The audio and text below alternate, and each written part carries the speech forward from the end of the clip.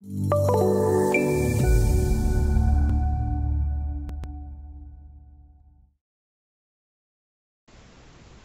this next exercise, we will learn how to create cross-section sheets along our divided highway section. We'll once again open up the file where we're going to create these sheets.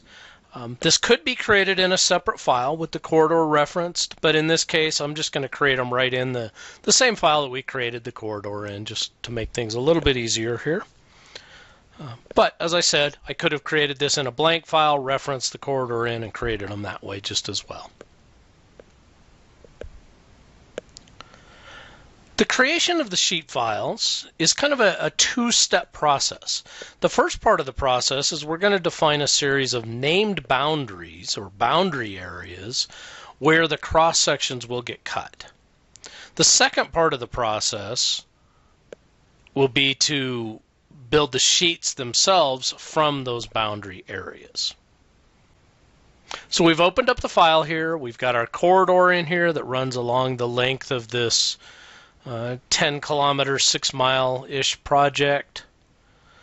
And we're going to go to the Drawing Production tab and run our named boundary tool. There are four options, or there's actually eight tools here, but the ones we're going to focus on are these at the beginning. These first four are dedicated to the civil product. These other four options are kind of generic microstation or drafting boundary options that we're not going to use because they don't understand the civil objects like alignments and stationing. So we're going to use this cross-section tool and we're going to load up a drawing seed here. And what that drawing seed is going to do is it's going to set the rest of these parameters so I don't have to worry about all of them. And it also defines some other seed files that are used behind the scenes when I create the drawings themselves, as well as how all the annotations done, um, there's a whole lot to what's in this drawing seed that makes all of this work. So the next thing I need to do is pick the alignment that I'm going to follow. So I'm going to data point that alignment. When I do that, it automatically fills out the name with the name of the alignment, or I could change it if I wanted to create this set of name boundaries with a different name around them. Uh, this is fine, so I'll just leave it at that. I provide the starting and stopping stations where I want that cross section to be created. I can do that dynamically. You can see as I move my cursor here, I can define those stations. Uh, so I'm just going to come back to the beginning and click a data point to say start there. And then I could go down to wherever the ending point's going to be. Uh, maybe in this case I want to specify a number. So I'm just going to specify here that I want to stop down at station 21500. Now the other thing I'm going to do is I'm going to adjust my interval here a little bit. Instead of 20 foot intervals, I'm going to run at 100 foot intervals with my cross sections. So I can see my sections generated here. I can see where they're placed out all along the alignment. Uh, data point to accept those definitions, the beginning and ending points, and it goes through and it creates the name boundaries. I can see those name boundaries in my 3D file. So what these are are a three-dimensional object that defines where a cross section is going to be cut and the size of the cross section. Notice that these do have different heights to them. As it went through and it built these, it was looking at what elements existed in this file, the top and the bottom of the terrain, of the uh, cut and fill slopes that are in here to make sure that they fit within the cross section.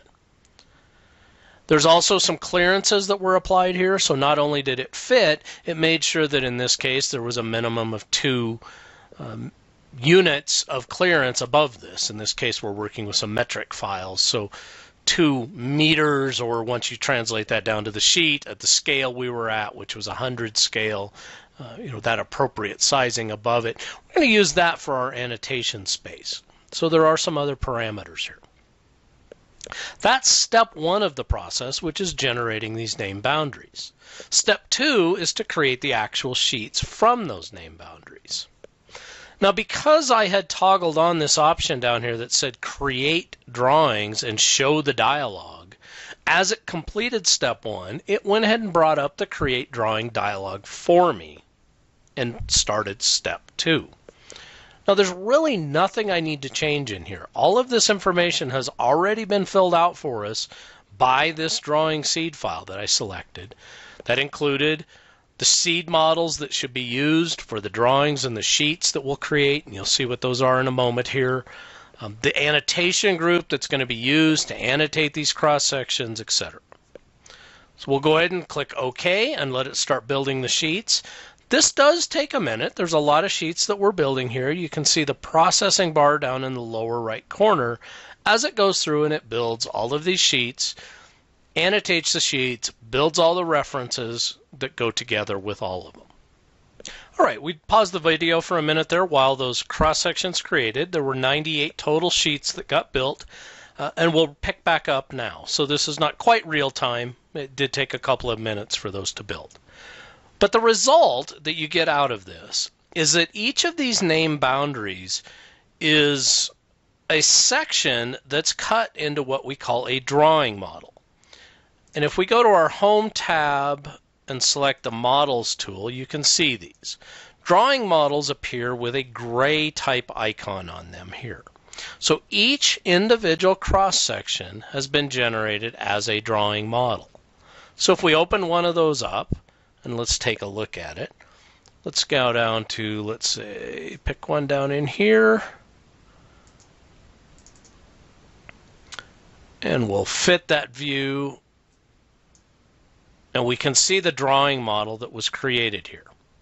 So this happens to be at station 15 plus 700 and we can see what it's cut.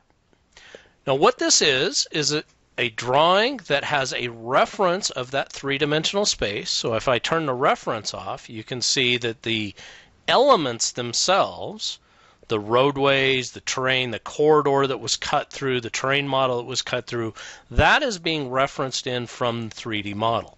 In fact, anything that exists in that 3D model will be cut and displayed in these cross sections.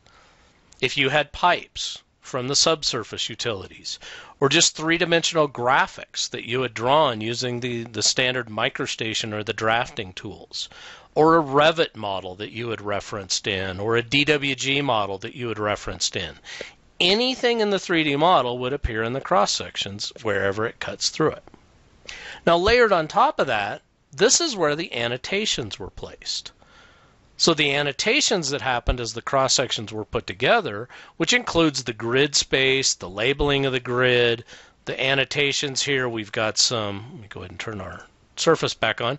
We've got some slope annotations, we've got some offset elevation annotations. All of that is done in this drawing model. These individual drawing models are then referenced again to what we call a sheet model. And multiple cross sections are going to fit on a single sheet. So if we go up to a sheet model, uh, like this one here, and let it update, we'll see that there are multiple cross sections that are on this sheet model In fact, there are four cross sections on this sheet. So this is four separate references. If we look at our reference tool, we'll see that those four drawing models are referenced into here. And that's what makes up a sheet model. The cross-section layout tools automatically adjusted and laid out the cross-sections depending on the varying heights of the cross-sections and appropriately put them on the sheets.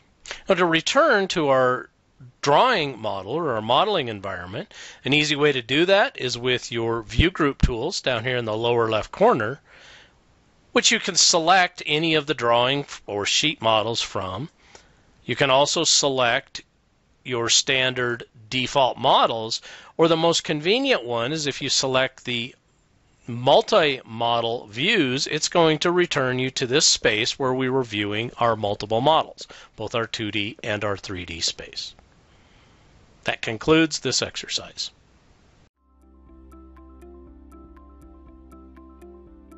If you found this video helpful, please give it a like. If you want to see more such series, consider subscribing to our channel. Thank you and see you next time.